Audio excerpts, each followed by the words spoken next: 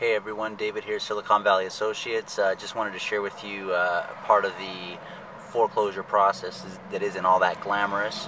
We just completed a sheriff's lockout at a uh, property over in the Evergreen area of San Jose.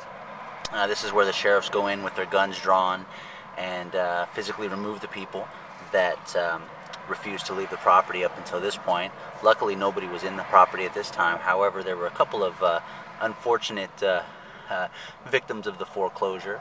I'm going to go ahead and uh, and change their names to protect the innocent. We'll call this guy Larry the Lizard, and he's got his buddy over here. Uh, call him Tommy the Turtle. Uh, both of these guys were left behind. Fortunately, uh, they're both still alive. You know, a lot of times we do foreclosures where we get pets that uh, that weren't that fortunate. So. Um, Oh, looks like he turned over there. I better fix him. In, in any case, we're going to get these animals over to the shelter. If, uh, if you or anyone you know want to uh, adopt a lizard or a, or a displaced turtle, just let me know. David, Silicon Valley Associates, 202 4210.